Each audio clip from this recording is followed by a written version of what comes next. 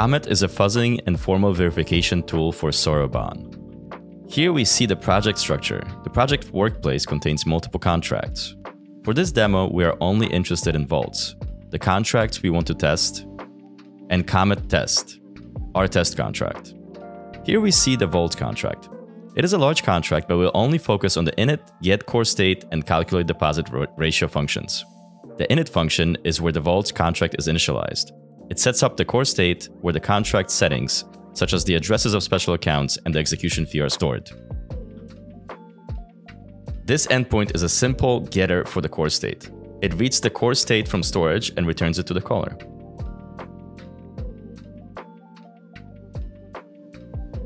Calculate deposit ratio function takes three arguments, currency rate, collateral, and debt, and calculates the deposit ratio according to the formula currency rate times collateral divided by debt. There is risk of overflow from the multiplication and risk of division by zero from the division. We will need to take these risks into account when writing our property test for this function. This is the test contract, which contains the test contract's endpoints. Init, test deposit ratio, and test get core state. Tests are written as contracts that interact with the target contract. These test contracts have special abilities to manipulate the blockchain state in ways that normal contracts cannot. The contracts have an optional init endpoint for setting up the base state of the test cases. The init function is usually used for setting up accounts, creating contracts, initializing the blockchain state.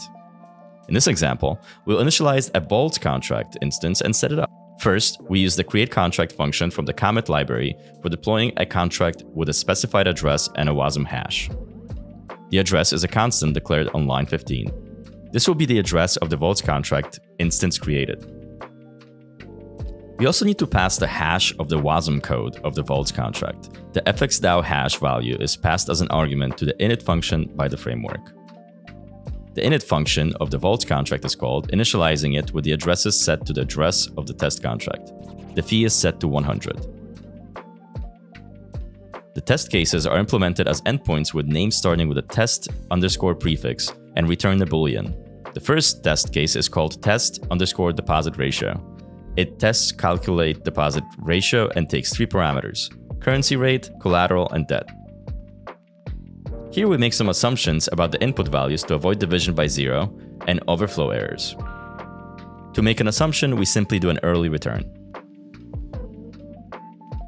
We call the calculate deposit ratio endpoint of the vault's contract. If it returns without an issue, we return true.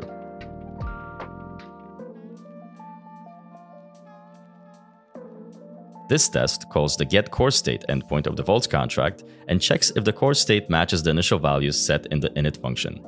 Then it calls the get core state function and compares the results with the expected values. If all the assertions pass, it returns true. Now we are going to take a look at the Komet CLI. We run the test with the command komet test. Komet initially compiles the test contract. The output we see on the screen is the compilation output, warnings, compiling, finished, etc. After the compilation, we see processing contracts, test underscore fxDAO. Komet displays discovered two test functions and lists them. We have test underscore deposit ratio and test underscore get core state, and the tool immediately starts running the first test function. This test function has three parameters. The fuzzer generates random input to check if the property holds for a wide variety of values. In the next version of Komet, we will be able to symbolically execute these in addition to fuzzing.